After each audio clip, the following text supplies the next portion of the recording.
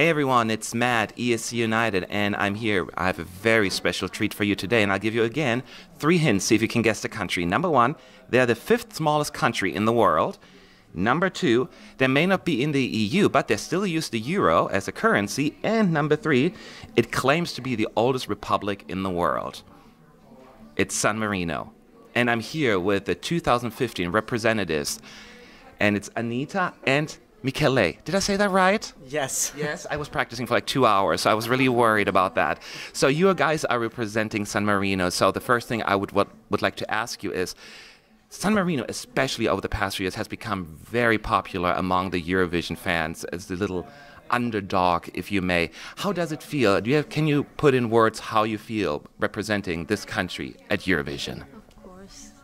For me, that uh, I'm Sammarinese, it's uh, a very big opportunity to show how I am, and uh, it's a honor. And uh, for Michele, For me, it's a, a double honor because I'm not from San Marino. I'm from Italy, but but San Marino uh, have chosen me to do uh, to to represent i- them country in the Eurovision, and I'm so honored.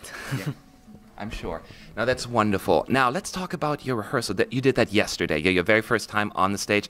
And this is my personal observation. And you can correct me. I felt like every time, every single time you performed the song, you got more. You knew exactly where the camera was. You felt very comfortable. Do you feel like after, like at the end of the rehearsals, you really had it down and nailed? How did you feel about your rehearsals yesterday? I think uh, all in all it was good, and uh, in uh, in these days uh, we're going to perfect uh, all of the performs, and uh, I can't wait uh, that on the on this this stage. Yes, I'm so excited. Uh, I it was uh, a good rehearsal yesterday, and I hope to do uh, every time better. And Well, I'm sure that that's what they're there for, you know, to learn and get better because there are lots of cameras, so I would be confused myself. so um, now let's talk about San Marino. As we all know, you know, in the previous years there was someone we probably now called uh, Valentina representing San Marino for three years in a row. It's it's wonderful to have new faces, you know, but I was wondering, where had, did you have a chance to talk to her? Did she give you any like advice, suggestions, what to do now that she is like an expert on Eurovision? Yes, well, uh, I've talked uh, about uh, um, the rehearsal, about this experience with uh, Valentina only uh, by Facebook uh, messages, and uh, she has said to me that uh, we had uh, to have fun and uh, and that's all. Only have fun and uh, show our message. Yeah. yes, So now, if you can deliver the fun, people will get that. People will feel that you're enjoying it, and they will enjoy it as well. I'm pretty sure. Now, another person that is involved again in San Marino is Ralph Siegel, a very famous songwriter. Now, he's, I think, if I'm not mistaken, that's his 24th entry for uh, Eurovision. I got that right. Good. I thought I was counting. And um, now, how, just like it must be feel good that you have such a like legend, if you will, uh, right for you.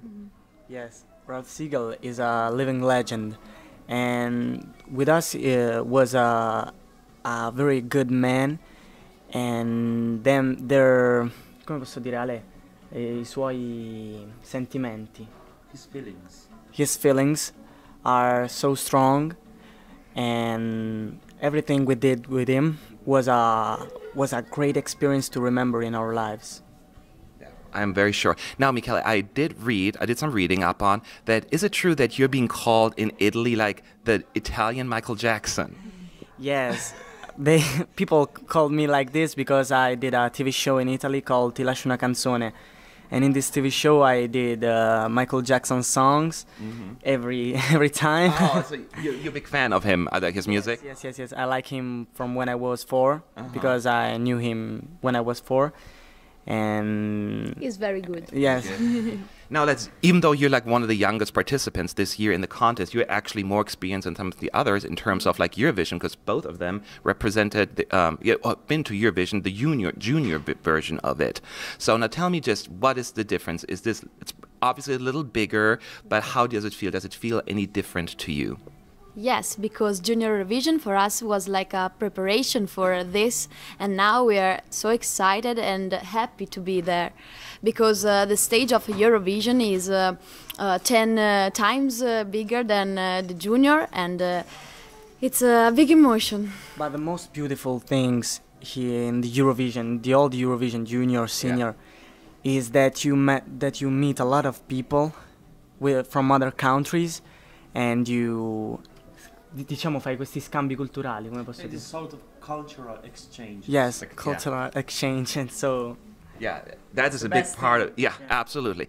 Now, with all these serious Eurovision questions, let's ask just a few fun questions to get to know you guys a little better. And um, the first question I have to you: If you had the ability to travel in time, back or forth, where would you go? Well, I'll give you a second. Think about it. uh, maybe uh, when in uh, 1969, when uh, the first man came to the moon, and uh, I wanna be the first woman. mm, I don't know, maybe in the future, not in You- the past. like- yeah, I would probably do the same thing. I'm like very interested in what's going to happen in like in hundred years from now. Because we know the past, Yes, but we true, don't right? know the future. I know, I'm way too curious. Now, let's just say I was going to break into your house right now and look into your refrigerator. What kind of food would I find there? What do you usually like to eat?